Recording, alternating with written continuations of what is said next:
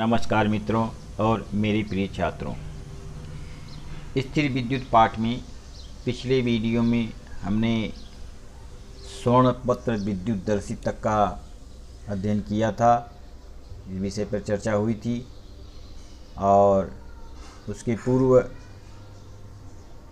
घर्षण विद्युत और इलेक्ट्रिसिटी नाम इलेक्ट्रिसिटी नाम क्यों दिया गया?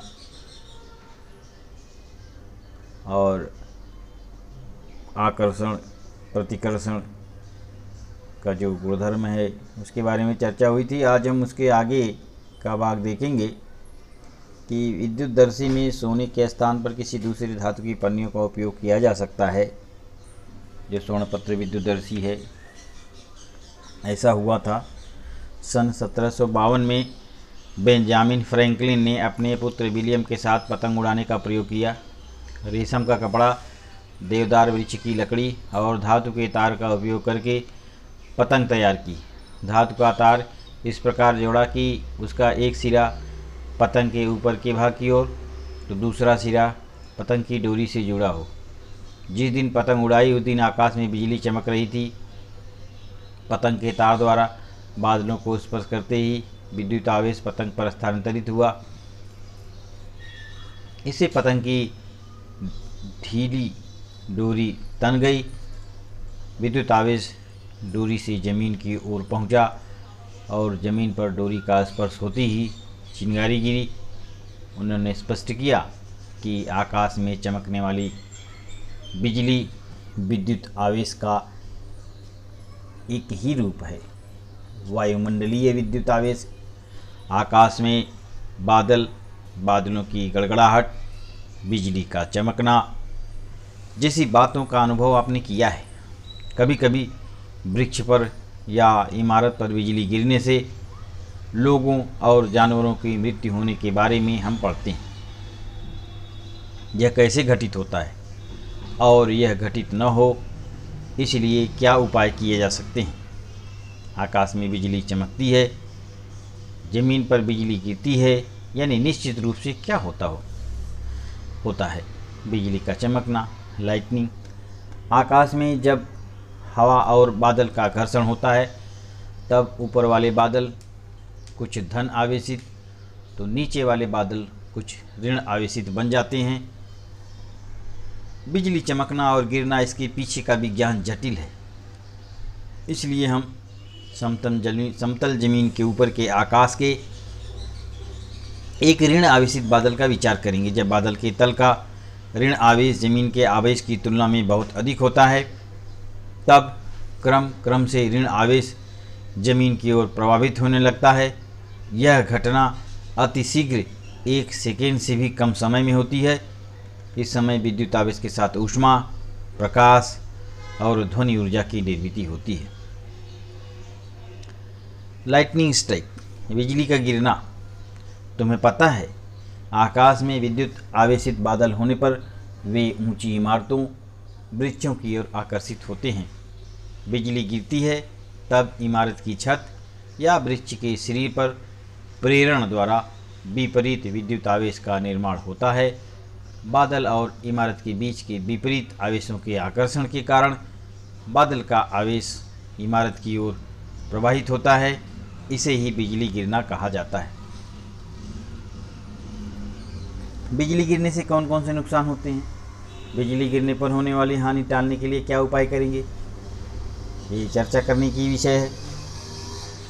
क्या तुम जानते हो, बिजली के कारण निर्मित होने वाली अत्यधिक ऊष्मा और प्रकाश के कारण हवा की नाइट्रोजन और ऑक्सीजन के बीच रासायनिक क्रिया होने से नाइट्रोजन ऑक्साइड गैस बनती है। यह गैस बरसात के पानी के साथ मिश्रित होकर ज़मीन पर आती है। और ज़मीन की उर्वरता बढ़ाने वाले नत्र की पूर्ति करती है। बिजली की ऊर्जा द्वारा हवा की ऑक्सीजन का ओजोन में रूपांतरण होता है। ओजोन गैस सूर्य से आने वाली हानिकारक परावैग्निक किरणों से हमारी रक्षा करती है। ये महत्वपूर्ण चीज़ है बच्चों। और मित्रों की लाइटनिंग कंडक्टर तड़ित रक्षक बादल से गिरने वाली बिजली के आघात से बचाव के लिए जिस उपकरण का उपयोग किया जाता है उसे तड़ित रक्षक कहते हैं। तड़ित रक्षक तांबे की एक लंबी पट्टी होती है। इसका इमारत के सबसे ऊँचे भाग पर इसका एक सिरा होता है। इस सिरे के भाले की तरह अग्र होते हैं। पट्टी के दूसरे सिरे को ज़मीन के अंदर ढलवा मोटे लोहे की मोटर, मोटी चादर से जोड़ा जाता है। उसके लिए ज़मीन में गड्ढा खोद कर उसमें कोयला और नमक डालकर यह मोटी चादर कड़ी की जाती है। उसमें पानी डालने की सुविधा भी की जाती है।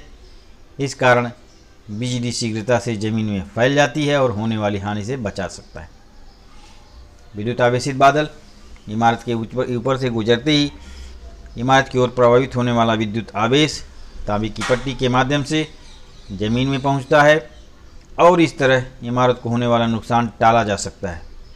ऊँची इमारतों पर तड़ित रक्षक लगाने से, आसपास के परिसर की बिजली गिरने से रक्षा की जा सकती है। तड़ित आघात से कैसे बचाव करना चाहिए? तड़ित रक्षक के ऊपर का भाग नुकीला क्यों होता है? ज़मीन के गड्ढे में कोयला और नमक क्यों डालते हैं? नुकीला होता है कि ऊपर से जो बिजली आएगी, नुकीला होने के कारण वो वहाँ से ज़्यादा और अच्छी तरह से उसको पकड़ सकेगा। आवेश को और कोयला नमक अंदर जो है नमी बनाए रखने के लिए कोयला नमक डाला जाता है। इस पाठ के आधार पर यहाँ पे योग्य विकल्प चुनकर पहला प्रश्न कि ये उप प्रश्न जो दिए गए हैं छः उप प्रश्न उप प्रश्न इनमें से विकल्प को ढूंढकर रिक्त स्थानों की पूर्ति करना है। दूसरा प्रश्न है, मूसलाधार बारिश, बिजली का ज़ोर से चमकना या कड़कते समय छतरी लेकर बाहर जाना योग्य नहीं है। उसका कारण है कि चमकते समय विद्युत बिजली गिरेगी तो उसका छाती की तीली द्वारा वो बिजली जिसके हाथ में छाता रहेगा, उसे भी उसका आघात लगने की संभावना अधिक रहती है। इसलिए मूसलाधार बारिश में और जब बिजली चमकती हो, कड़कते हैं, उसमें छाता लेकर जाना उचित नहीं होगा। बिजली से स्वयं का रक्षण कैसे करेंगे? फिर कभी किसी पेड़ के नीचे खड़े नहीं होंगे, किसी इमारत के नीचे जाके खड़े हो जाएँगे। आवेश कैसे निर्मित होते हैं? घर्षण से निर्मित होते हैं। तड़ित रक्षक द्वारा ज़मीन में फैलाने की क्या व्यवस्था की जाती है? इसमें कोयला और लोहे की चादर डाली जाती है, कोयला और नमक डाला जाता है। बरसात के मौसम में किसान काम करते समय खुली जगह पर मोटी सड़कें उगाड़ देते हैं। ऊपर से अगर बिजली का प्रवाह ज़मीन की तरफ़ हो तो एक बिजली का जो आवेश है, वो लोहे की छड़ के द्वारा ज़मीन के अंदर चली जाएगी और उससे होने वाला नुकसान टल जाएगा। बरसात में बिजली हर समय चमकती हुई क्यों नहीं दिखाई देती? क्योंकि जब बादलों के बीच में घर्षण होगा, उसी समय बिजली उत्पन्न होगी और इसलिए हर समय बिजली चमकती हुई दिखाई नहीं देती। स्थिर विद्युत आवेश की विशेषताएँ, धन आवेशित दो वस्तुएँ आपस में प्रतिकर्षित होती हैं। धन आवेश और ऋण आवेश में आकर्षण होता है। एक आवेश रहित वस्तु आवेशित वस्तु को आकर्षित करती है। आवेशित वस्तु आवेश रहित वस्तु को अपनी तरफ़ आकर्षित करती है। बिजली गिरने से घर गिर सकते हैं। जानवरों की हानि हो सकती है। व्यक्ति की मृत्यु हो सकती है। पेड़ गिर सकते हैं। तो ऐसे समय में जब बिजली चमकती हो, कड़कती हो तो पेड़ के नीचे खड़े नहीं होना चाहिए। छाता लेकर बाहर नहीं निकलना चाहिए।